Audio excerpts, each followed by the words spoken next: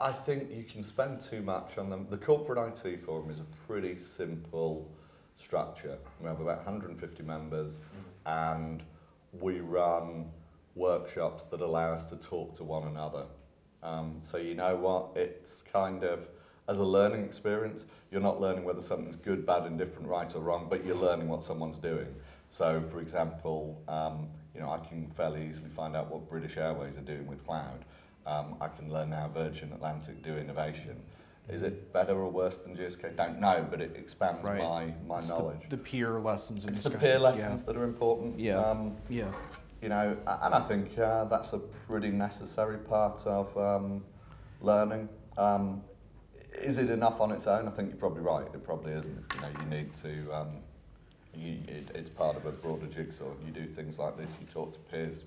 Thought So did you even like? I'm just trying to get a sense of this from like a, uh customer perspective. Like, there was this big brouhaha in the blogger analyst community this week about Oracle and its cloud announcements and stuff.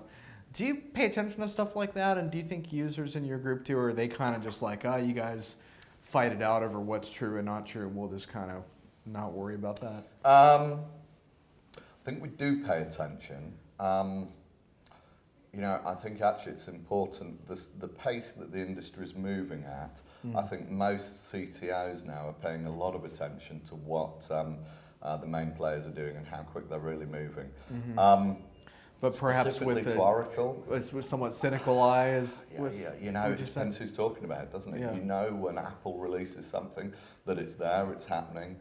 Um, now, is it always enterprise ready? No, but it is what it says on the side of the tin. Right. Um, with some of the older players, the more traditional players, Yeah. you almost feel that there's announcements being made because others are announcing stuff and it's expected. Now that's, Mm. you know, I don't want to pick on any Sure. any one player, but there is a little bit of that. So bit, yeah. I think we watch it, but there's, um, you know, there's then usually a healthy discussion about is there actually anything there? Is anyone going to use that? Is anything really changing? Is Oracle's cloud different this week from last week? Um, are they catching up with Salesforce.com? Tell you what though, I mean, when Salesforce.com were in town um, uh, a couple of weeks ago, um, most of the corporate IT forum members were there.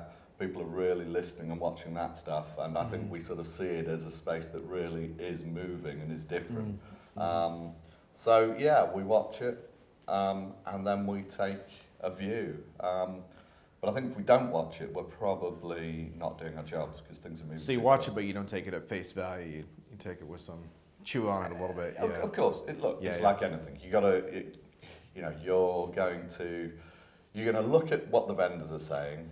You're probably going to pay a bit of attention to what the formal researchers are saying, the Gartners and Right, right. You're going to read some opinion, you know, which is really the blogosphere stuff, but Yeah. that's useful because that gives you some different angles. You've kind of got to treat it as um, reading Mm-hmm. a newspaper. There's a bit of, um, you know, a, a, a view that's sometimes deliberately Right. provocative.